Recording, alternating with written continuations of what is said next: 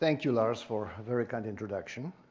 It's a pleasure to be here yet again. and thank you for coming out. It's a beautiful evening. Uh, I'm glad quantum mechanics drew you out here. So I am part of the program on open quantum systems. I shall talk about quantum mechanics and to what extent the openness of quantum systems help us understand how the classical emerges out of the quantum substrate. We know that our universe is quantum. Every controlled experiment done in the laboratory proves that all the pieces we can control behave quantumly. On the other hand, we are deeply convinced by a poorly controlled experiment that in everyday life we do not encounter quantum weirdness. So where does this quantum weirdness go away? This is a theme of my talk. I will start discussing weirdness and I hope we'll get to its demise. Let me start with what is a bit of a cliche, uh, but I start with it because you've probably seen it. Schrodinger's cat. You know the story. Uh, paper was written by uh, Schrodinger in 1935. It, it uh, um, changed the way people thought about quantum mechanics, in part because it forced us to take seriously the idea that quantum theory is a theory of everything. So, what uh, Schrodinger's thought experiment is, it consists of um, nucleus, sorry, jumped ahead, consists of a nucleus um, of radioactive nucleus uh, which is going to decay. This is a quantum system. If the nucleus decays, it will unleash uh, what Schrodinger called the following diabolical contraption.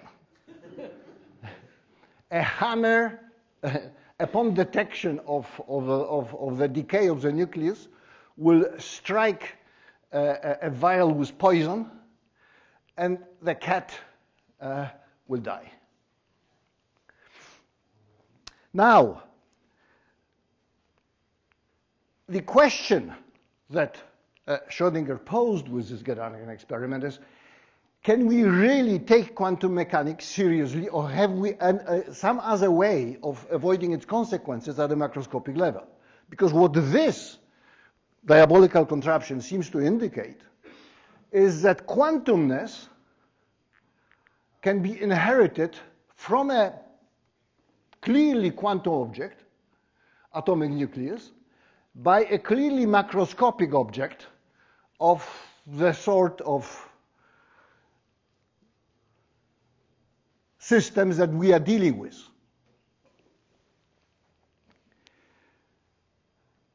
So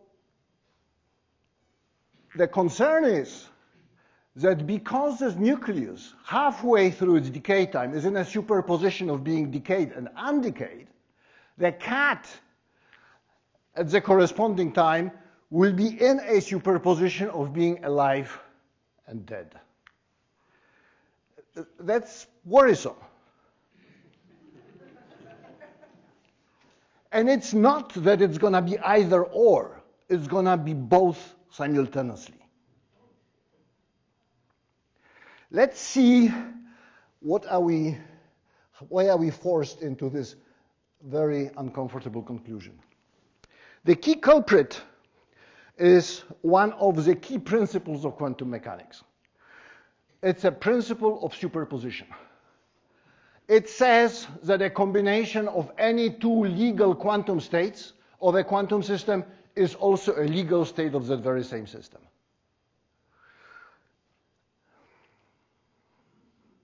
So for example, if we are dealing with a spin, which can be up or down, then a state, which is a combination of the two, is a legal state.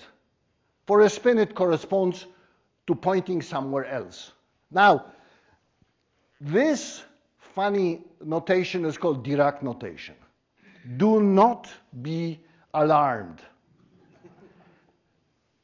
Throughout the rest of the talk, Dirac notation is essentially equivalent of quotation marks. So when I say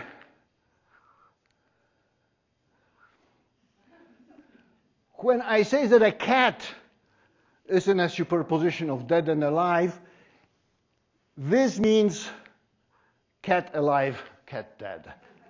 Quotation marks.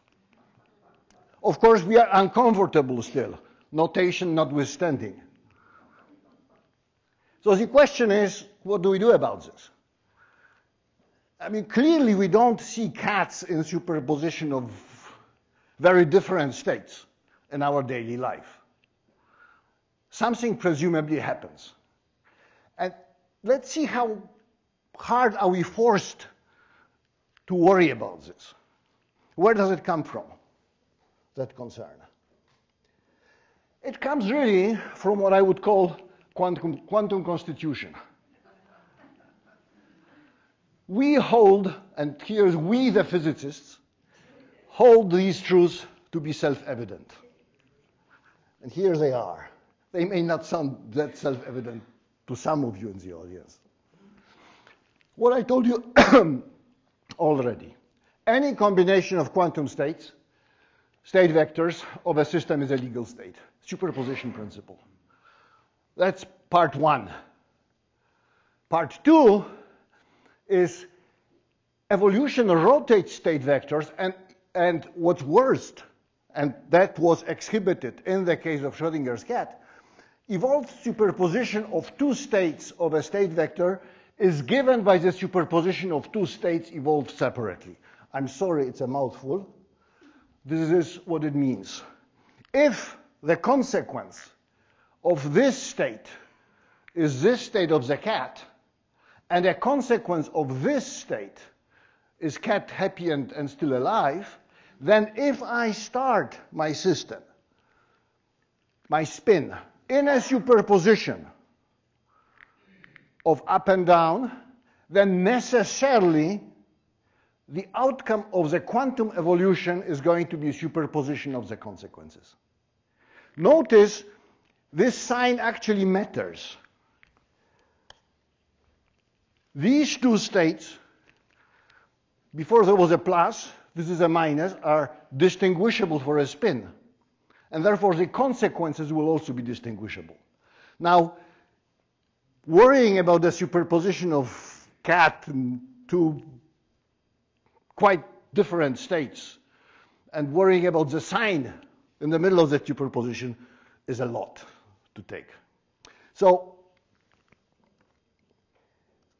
let's see where does it take us. Quantum constitution again. We hold these truths, etc. Self-evident, that's not the real point. The real point is that these truths were confirmed by every laboratory experiment to date, including on increasingly large systems. So we have no choice but to accept, at least as a problem, this.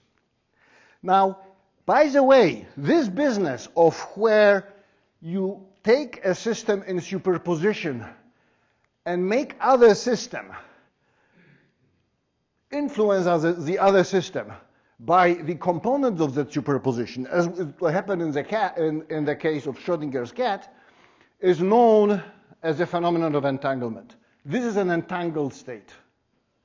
Neither of these two systems in this state is entitled to a state of its own.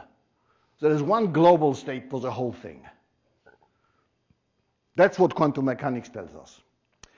Um, Schrodinger's paper coined this word entanglement, which is now very popular because people count on it for quantum information processing, etc.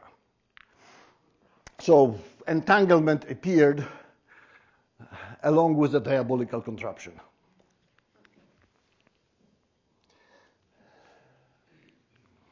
So we know now what the problem is.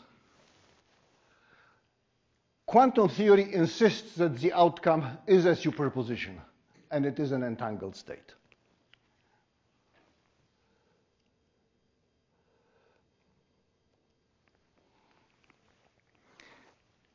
And quantum evolutions mandate this sort of uh, uh, sequence of events in time. Instead of two alternatives, we get both of them. And the sign matters. Now, Schrödinger sprang up this surprise at the time when quantum mechanics was about 10 years old people weren't really buying it. And for a long time, some very prominent people who help, helped bring in quantum mechanics uh, and, and formulate it were uncomfortable with it. So this is a proof from clearly an authority, letter written by Albert Einstein uh, to Max Born, another father of quantum mechanics, dated 1954. So this is close to 30 years after the beginnings of quantum mechanics.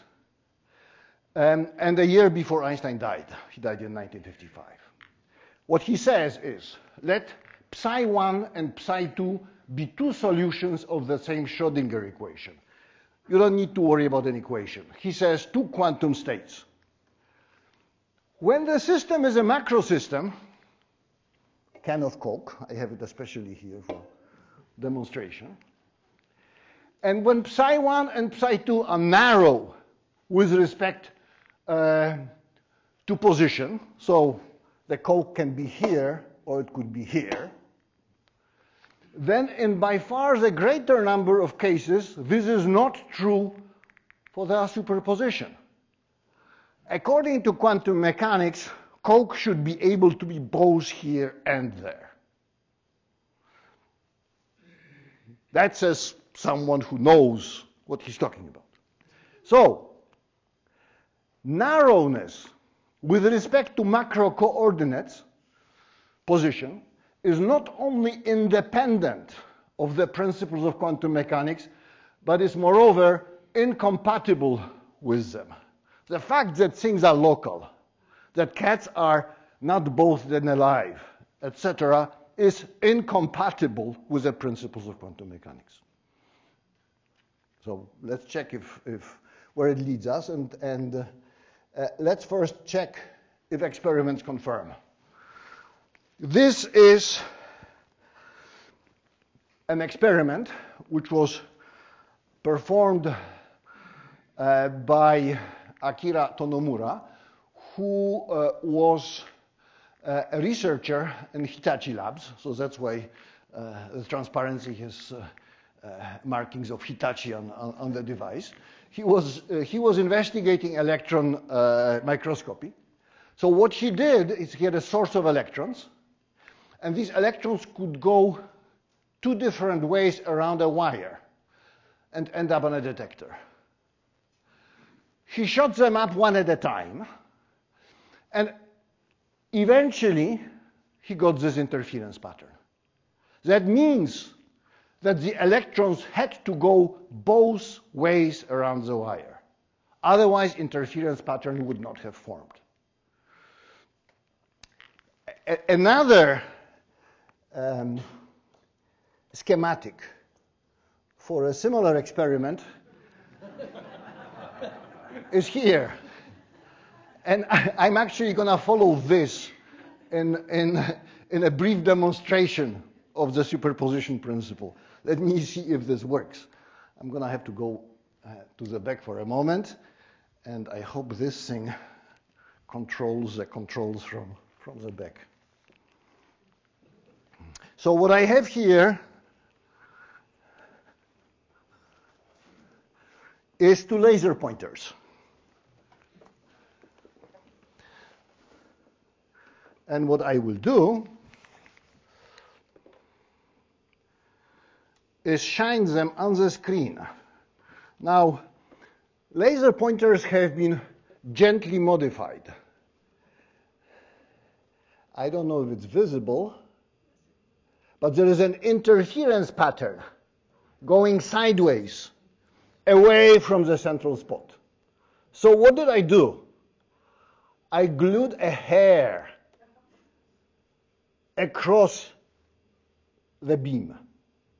So this is, you know, instead of having a skier going both ways around the tree, uh, experiments with human subjects are require a lot of paperwork.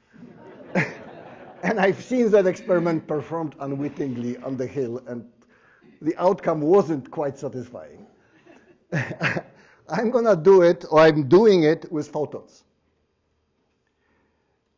Here's another laser pointer, again with a hair glued across. Let me just see if I can control it. Uh, I need to get the hair to obey.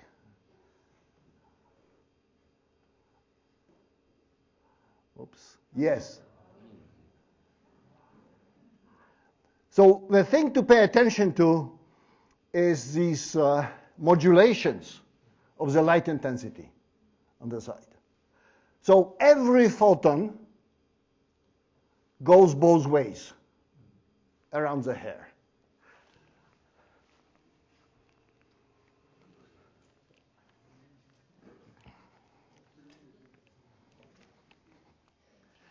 So in other words,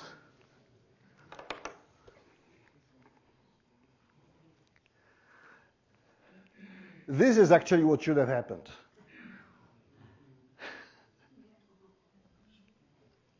So we now see superposition experimentally, and I'm a theorist, experimentally that superposition principle works. So far, superposition principle was threatening our view of reality. Let us see if we can get something useful out of it what can superposition and entanglement do for us? Information can be encoded into quantum states of microsystems. It can use, be used to entangle one microsystem with another. Here there are no objections, like with a cat. This actually happens. People have checked it in experiments these entangled states have been measured to death, and they are there. And entangled information can be shared securely between different parties. This is the basis of quantum cryptography. One, one, can use it to teleport unknown quantum states. This has been also done. Uh, I think a year or two ago, Chinese group teleported something from China to a satellite. So you can do a teleportation like things. And above all, it can be manipulated by quantum logic gates in order to explore the possibilities of quantum computing. So very roughly, how does quantum computing work? It's really a, an experiment in a giant amount of entanglement. What you are dealing is with are two quantum systems. One of them is a control. That was the nucleus decaying in the case of uh, the uh, uh, Schrodinger cat. And the other is target. That's the one that's going to get modified. It used to be the cat in the situation we discussed before. Quantum gate couples two qubits two quantum bits through a conditional operation. So if A is true, then do B, like in Schrodinger cat case. This is known as controlled NOT gate. If the control bit is 1, the one in the top wire, then you flip the other one. This is sort of mimicking the gates one uses in classical computers. The point is that in classical computers, you would have either or at this point. This is a crux. Here you have both. So, with a sufficient amount of these gates, you end up being able to explore many more possibilities than you would with a classical computer. In particular, and that's, I'm going to sort of reverse the question, it turns out that if you um, want to simulate exactly the quantum state of a system consisting of a few spins, then the biggest classical computer that can deal with it today uh, can do that for about 35 spins. If you want to do it for 36 spins, you need to double the size of that classical computer. The reason for that is that each time you perform an operation like this, you double the number of possibilities. Now, one can use these sorts of gates to create massive controlled entanglement. And this can be used to process information. So in a sense, you are running parallel processing, but on a single piece of hardware. Now, of course, turns out it would be exceedingly useful if you could do it. There are killer apps that various government agencies and, and, and private industry are interested in. However, however, it's not that easy. What's the problem? The problem is that this massive amount of entanglement is vulnerable to the same sorts of instabilities that made it impossible for the cat to persist in a superposition of dead and alive. So, in other words, and here is again another diabolical contraption, control bit was the nucleus. Whatever thing ha- happened or didn't happen to the cat Cat was the poor thing serving as a target. So there is a very close parallel between what happens in a quantum computer and what happens in Schrodinger's cat paradox. And in fact, that is a problem with quantum computing whatever, whatever makes it difficult for the cat to be in superposition makes it also very difficult for the quantum computer to stay in superposition of all the possibilities. In fact, the Schrodinger cat problem is related to a famous, another famous quantum measurement problem, the measurement problem. Basically, cat serves as a measuring apparatus for a quantum system. Uh, depending on the state of its well-being, it detects the nucleus either in an undecayed or decayed state. So it's clear that it's going to be tricky to get quantum superpositions and, and, and entanglement to do what we want them to do. Um, and part of the problem is a problem with observation. And here is a Dilbert cartoon uh, from a couple of years ago. Uh, this is the famously, famously useless employee and his director. I'll just let you admire it in peace.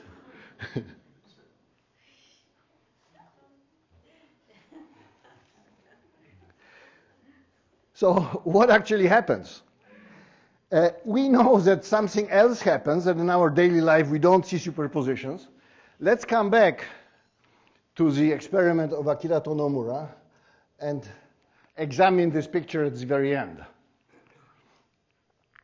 Or, you know, somewhere, anywhere along the way. By the way, he was very careful to have a source which was so weak that the electrons were emitted very rarely, so there was only one at a time between the source and the detector. This ruled out any sort of collective uh, uh, uh, cooperation between, between uh, electrons. So every one of them had to go both ways of the wire. On the other hand, every one of them eventually made a single dot. This is the heart, the crux of, of uh, uh, uh, wave particle uh, uh, duality. Um,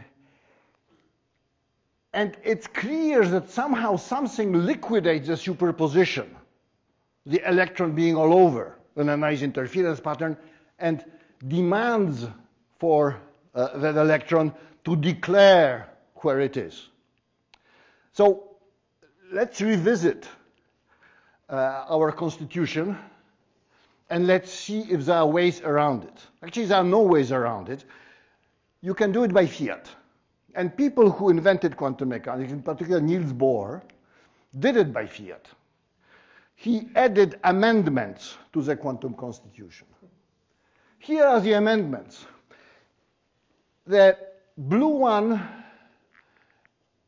is innocuous. People do not worry about it. It basically says if you've measured something and it is in a certain state, and if you, then you can always check that it's still in that state if it didn't have time to move. So repeated measurement yields the same result. But the ones in red are a subject of great controversy. So the first one says the result is not the pre-existing state of the system, but an answer to a multiple choice question posed by the observer, by the measurement. Different multiple tests are usually incompatible. Let me dwell on it a little bit. So I have a system, a quantum system. Something I take for granted when I'm in a classical world that is that I can find out what is the state of that system. In quantum mechanics, this is not the case. In quantum mechanics, you walk up to that system and you formulate a question. And it's going to give you the answer to that question. And it's a multiple choice question. You give it a bunch of options. It's going to say option number five. It's not going to be the state of the system. It will have a relation to the pre-existing state of the system, but it will not be it. Well-known example of that is Heisenberg's indeterminacy. You can ask about position and you will get an answer. But if you ask about momentum, the answer you got about position is going to be invalidated by asking a multiple choice question about momentum. Essentially, every pair or every collection of observables, as they are called, in quantum mechanics you will encounter has that property. Measuring one invalidates uh, answers you've had before to the other one. Uh, you can uh, get a probability of an outcome, and it is given by the pre-measurement state vector, but it's not the pre-measurement state vector. It's something else. It's a vector that corresponds to the answer that the system gave you to the question you posed. And also there is a single outcome to each uh, run of the measurement. Now let me confront uh, these with the uh, Constitution as we remember it. So first one is any combination of quantum states is a legal state, superposition principle. The second one, evolution rotates states. Superposition of causes evolve uh, into superpositions of consequences. Schrodinger cat is, is, is our uh, uh, cliche for this. The problem is that these amendments are unconstitutional. if this is supposed to happen and it's mandated by the superposition of causes which forces the whole thing to evolve into superposition of effects, then a single outcome at the end of each run of the measurement is is incompatible with it. Also, it's kind of weird that states, things we are used to in a classical world, don't have the same sort of robustness in a quantum world. You can't find out what the state is. You can find out the answer to your question, but unless you ask about during the measurement in such a way that pre-existing state of the system is one of the answers, you will not get it. So,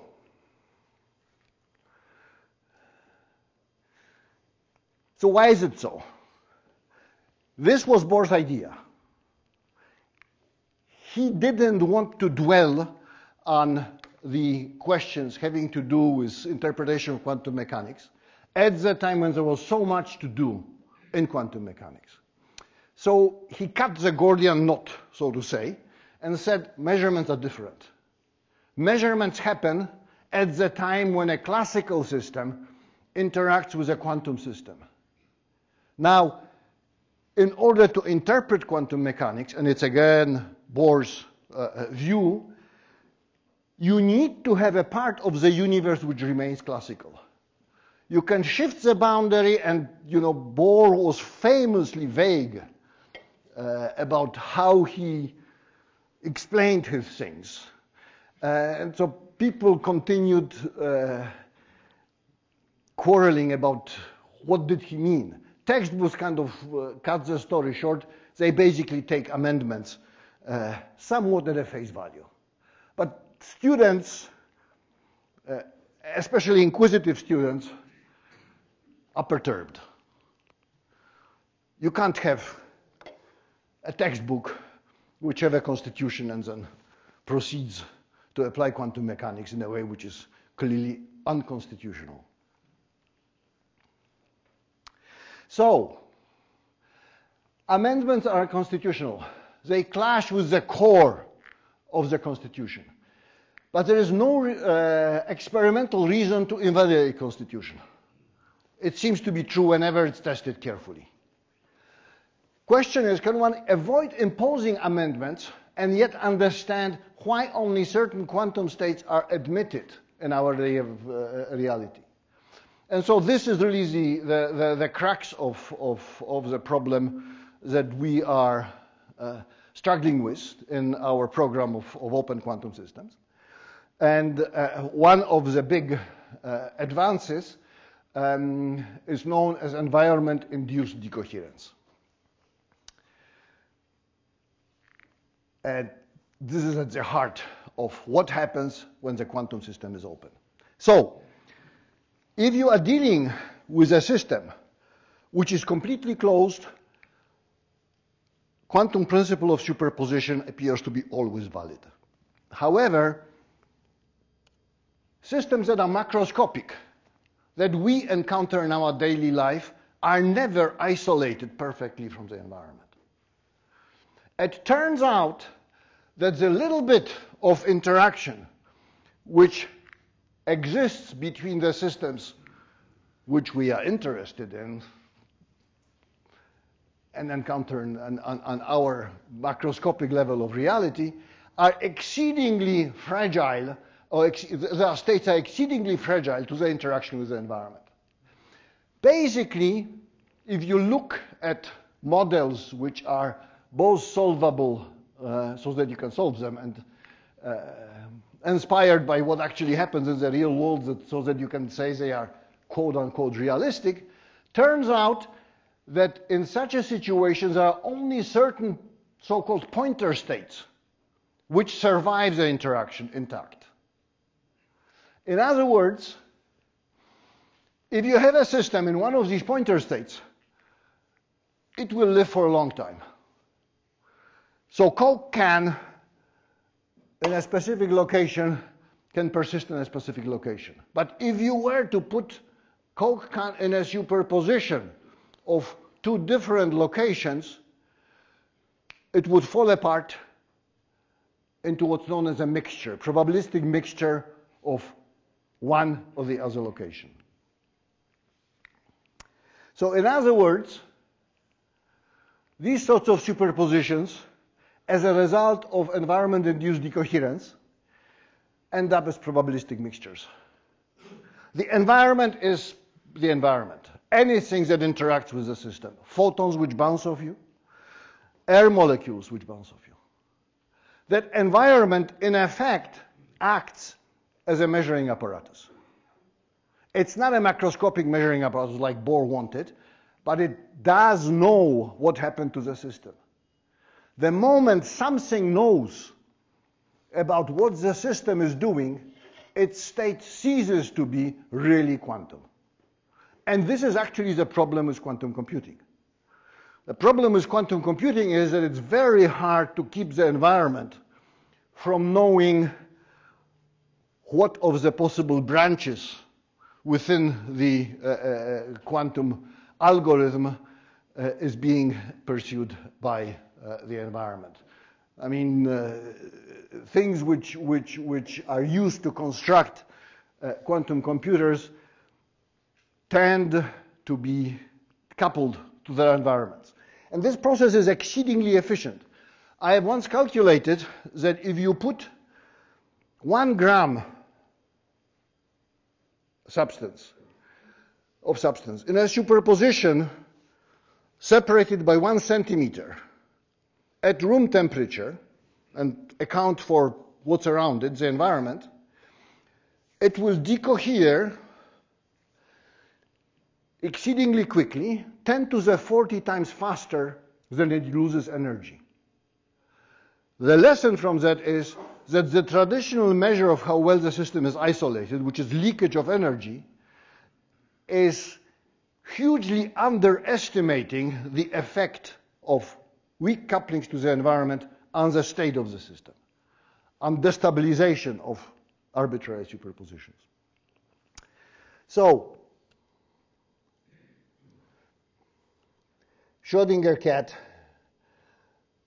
ends up being recorded by its environment. And we know, and one can make beautiful experiments which show that double slit experiments have the same uh, problem. If you let the environment scatter of the particles which are attempting to create superposition pattern, they will no longer uh, superpose. They find out which way the photon went, and that makes interference pattern impossible. This was done in several experiments that were testing decoherence. One of the most interesting ones and, and most convincing was done in Vienna, uh, where they have a microscopic but fairly hefty by microscopic standard system. They use fullerene molecules to do interference. And depending on how much light they shine on them, they either interfere perfectly or the intensity of interference is depleted. Um, by the way, they were working, but I, I, I suspect it's going to take a while, on trying to do the interference with virus. I, it's a much bigger system. It's much harder to decouple it uh, from, from, from the environment.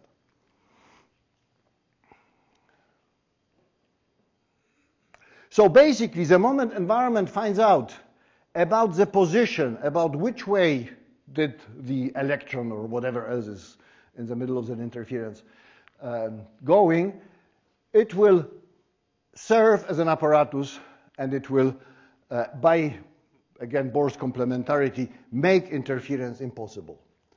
Uh, the system will lose its particle properties. Um, let me just go through this fairly quickly and let me get to where um, where I sum up and contrast the role of decoherence uh, with what was uh, the story classically. So this is essentially uh, Niels Bohr's view of the universe. The system is quantum. It interacts with the apparatus, but the apparatus is classical. It is declared to be classical. And then the observer, and here is his eye, looks at the apparatus. The state of the apparatus is well defined, uh, and you know, cat and, and, and, the apparatus would be both in Bohr's view on the classical side of the divide, unless something really, uh, like with a virus, would, would happen. What decoherence says is that you don't need to declare the apparatus to be ab initio classical. It will not persist in superpositions if it's interacting with its environment. So when the observer comes and looks at the apparatus, it will see it only in one of its, of its stable states. And these stable states are pre-selected by the environment. So even though the system puts the apparatus in a superposition of outcomes, the apparatus pointer is going to be read off by the environment before it is read off by the observer. Now, is this a whole story? I thought so until about 15 or so years ago. It turns out that here the environment is only a spoiler. It only messes up, destabilizes superpositions. It's actually its role, and I'm now convinced of that, and I'll try to convince you, is far more important and far more profound. So, another experiment we've been conducting for 45 minutes. I am here. You are not interacting with me directly as this observer is interacting with the apparatus. You're just listening to me and you're looking at me. So, what are you actually doing? You are actually using environment which scatters of me and air molecules which propagate waves that I emit to find out my state. So the next step which takes the role of the environment beyond that of destabilizer, is what I call quantum Darwinism. And here it is.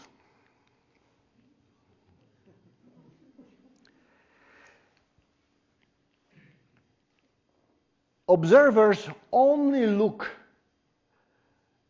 well, by definition, looking is interacting with a photon environment.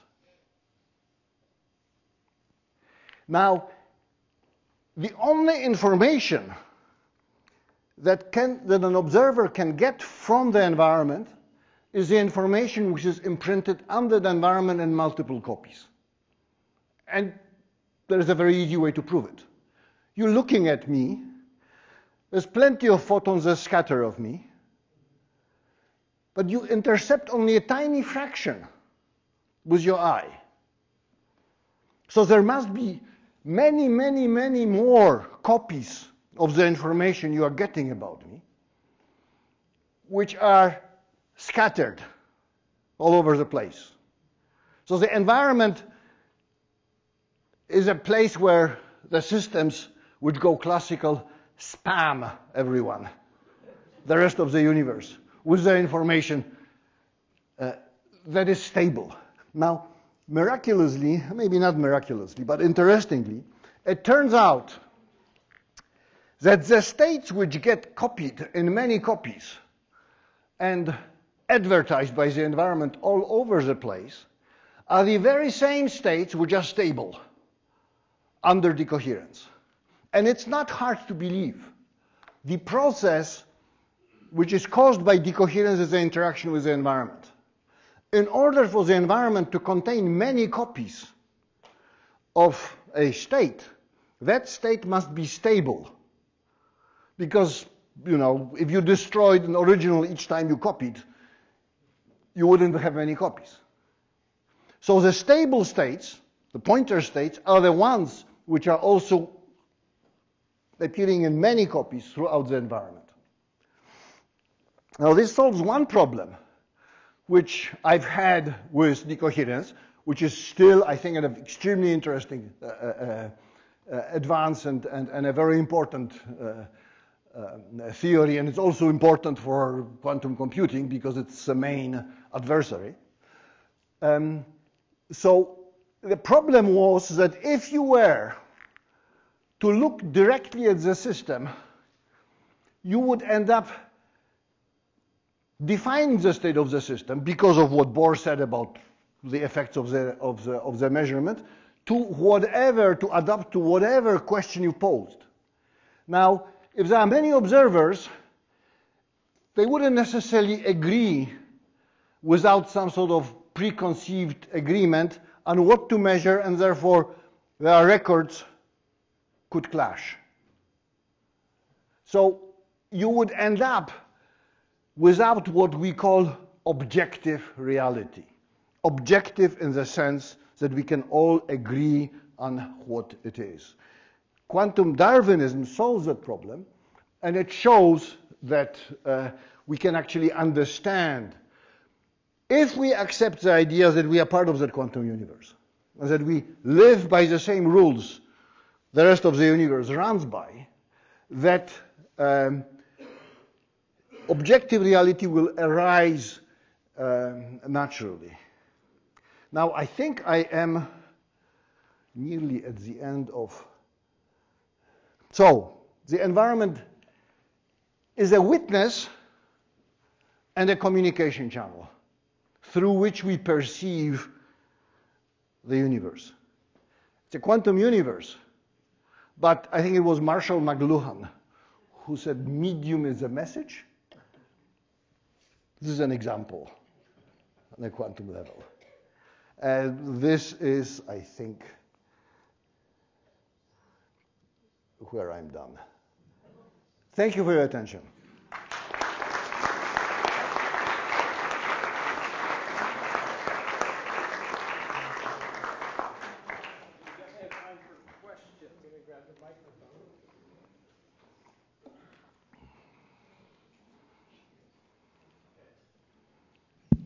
Remember the medium is the message, so be careful.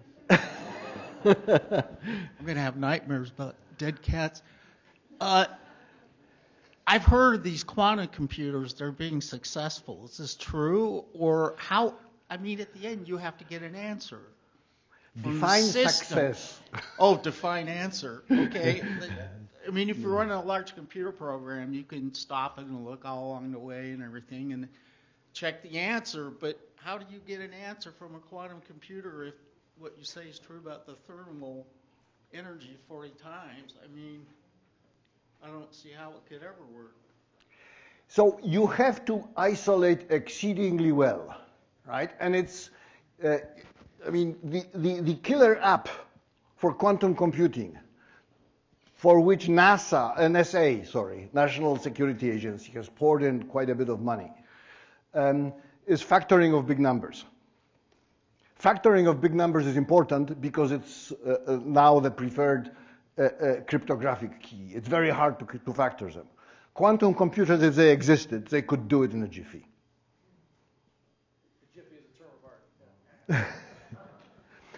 and, and even though, and there are now other applications which are less, uh, I don't know, national security related. Um, and even though there is clearly a lot of, of uh, money poured into the field, it's exceedingly difficult to make quantum computers do what they are supposed to. One of the problems is that, well, the main problem is decoherence. So the computer doesn't want, the computer doesn't stay private. And the moment it spills the beans to the environment, it's all over. The computation is no longer quantum, if it's at all a computation. Now, people are building reasonably big devices and they are calling them quantum computers. But they're not doing what quantum computer would do. They are not staying in superpositions. Uh, there is a D-Wave uh, uh, company which claims they have a quantum annealer uh, we've tested it, and, and because we have one in Los Alamos, and it's not quantum. Uh, the most quantum uh, computers that we've encountered so far is the IBM computer. It has five qubits. They have a bigger version, but it's not as good, not as quantum as, as, uh, as the small one. And the uh, crux of the problem is in order to deal with these systems and states which are so fragile, you need to be able to do error correction. You can prove that in order to do error correction effectively, you would need to have a single gate operate with an accuracy of about 10 to the minus 4 were the initial uh, uh, estimates. Error, uh, 10 to the minus 4, maybe 10 to the minus 3. So I think I've, uh, you've touched on the sore point of quantum computer.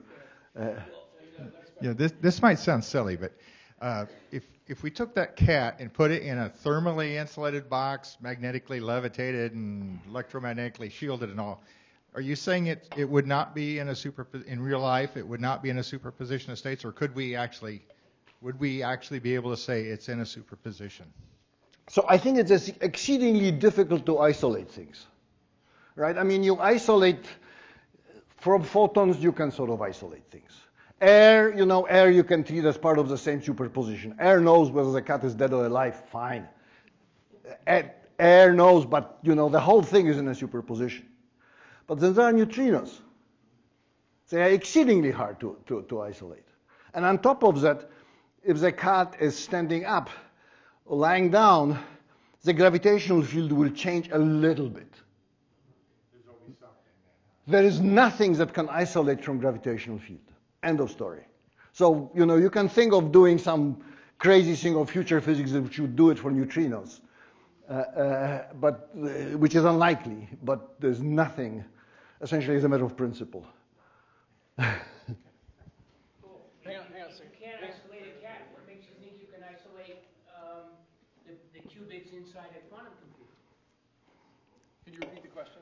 Yeah, so the question is um, if you can't isolate the cat, what makes you think then you can isolate qubits inside the computer? So I know that for some qubits I can do it.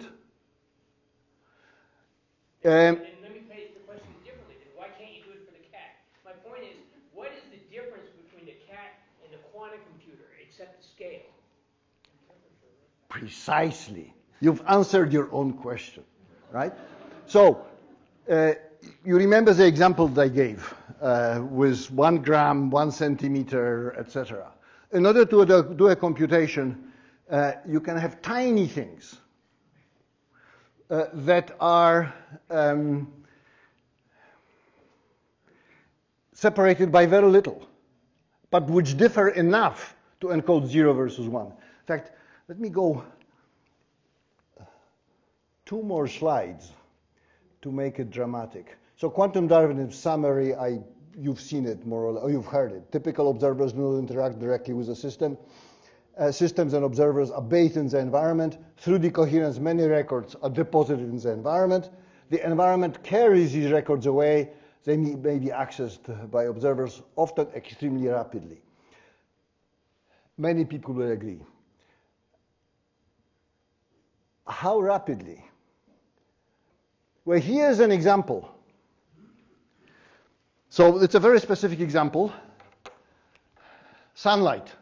You can isolate from sunlight, right? But, uh, but uh, here it's how effective the sunlight is. And I have a system which is much smaller than my one gram. It's, I don't know how heavy it is, but it's one micrometer uh, in size. And the separation, you know, like between the two positions of Coke can, here it's also one micrometer. I calculate how many copies of that, that allow you to distinguish from the photons in the environment between this and this are made as a function of time. Given that sun is shining, that's the temperature of solar uh, radiation. And the answer is you get 100 million copies, whoops, in just one nanosecond. So if you can go to where it's really dark there are no photons, temperatures are very low, and you are decoupled as much as possible from the environment, you can do it. People like Tonomura do it with, with electrons. which try to talk to a lot of other things. People do entanglement on fairly large scale. IBM quantum computer is successful to some degree, right? But whether you would be able to do it at the level at which you would be able to run useful programs, I think the belief is yes, but it's not going to be easy. I hope I've exhausted the question. Okay. So hang on, hang on. Sorry. Uh, I don't want to sound too stupid, but again, you talk about time, and does time just flow in one direction and at the same speed everywhere? And does does that have anything to do with this? it's sort of beyond the subject of this talk, and it doesn't really have to do uh, much with it. But it, you know, you know, special relativity. It, uh, how fast time flows depends on how fast you move, and so on. So, so uh, basically, I'm, I, I'm going to postpone the question until, until the informal discussion because I think it will take us away from, from what we are talking about. Uh, brief question. Why is it not possible to distinguish between uh, uh, small quantum uh, phenomena like electrons, which also have wave properties, they have dual nature, and a cat, which is uh, which does not have? Uh, I think Einstein's The question was, do you mean to tell me that the moon is not there if I don't look at it? Absolutely. So uh, I think this is part of the answer. And part of the answer is the example I told you about before one gram, one centimeter uh, um, uh, room temperature. If you drop from room temperature to nanokelvin, which people do, if you deal not with one gram, but 10 to the minus 23rd uh, grams or so, which is, you know, a single atom, etc., and if uh, the separations are tiny, or maybe there's no separation, maybe there's a single atom uh, which is in an excited or ground state, then you can do it, right? So the part uh, of, of, of, of what Bohr said, that macroscopic is classical, is true, but we now understand why. It's classical because it's exceedingly hard to decouple from the environment. Okay, well, let's thank Wojciech one more time.